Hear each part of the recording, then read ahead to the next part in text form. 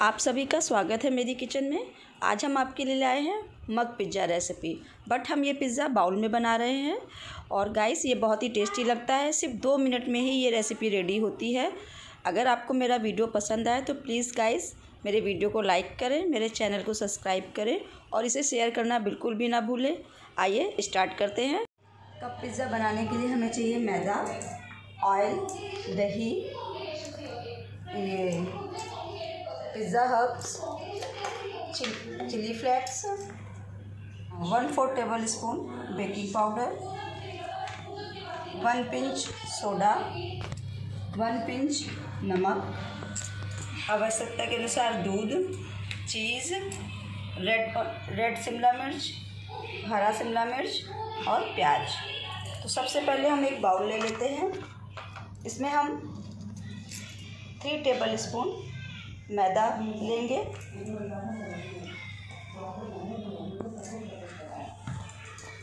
इसमें हम one tablespoon oil add करेंगे।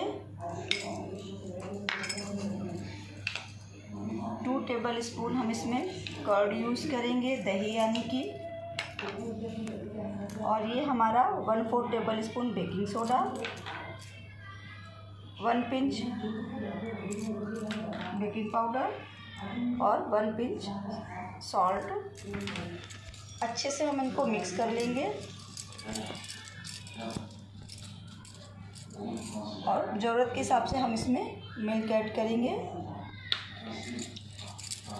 बहुत ही जल्दी ये बनता है पिज़्ज़ा सिर्फ़ दो मिनट की रेसिपी है ये। इसमें हम थोड़ा सा दूध और ऐड करेंगे। अच्छे से इसको फेंटना है, एक भी लम्स इसमें ना रहे। हमारा पिज़्ज़ा का डो एकदम रेडी है। आपको इतना ही थिक रखना है इसे। सो so फ्रेंड्स अब हम इसको कोटिंग करेंगे सॉसेस की।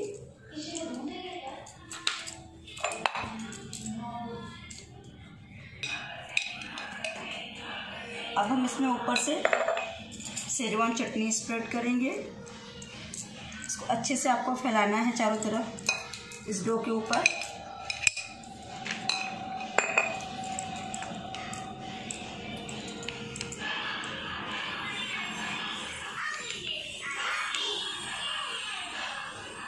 इसके बाद अब हम इसमें अपनी वेजिटेबल्स डेकोरेट करेंगे। ग्रीन शिमला मिर्च रेड शिमला मिर्च। बहुत ही टेस्टी लगता है ये, बहुत ही छठ से बनने वाला रेसिपी है ये। और अब हम इसमें ऊपर से अपनी ये चीज़ मोजरेला चीज़ ऐड करेंगे।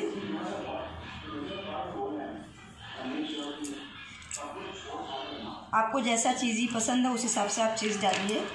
और ये ऑरिगेनो ऊपर से मैंने ऐड किया चिली फ्लेक्स ऊपर से आप इसमें स्प्रिंकल कर दीजिए। और अब आप इसे एक से डेढ़ मिनट के लिए माइक्रोवेव में सेट कर दीजिए बनिए मैंने माइक्रोवेव को पहले से ही प्री हीट कर लिया है। अब हम इसको दो मिनट के लिए माइक्रोवेव में सेट कर देंगे।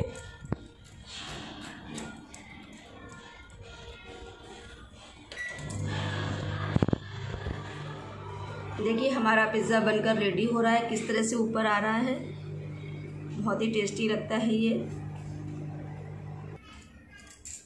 हमारा पिज़्ज़ा बनकर एकदम रेडी है।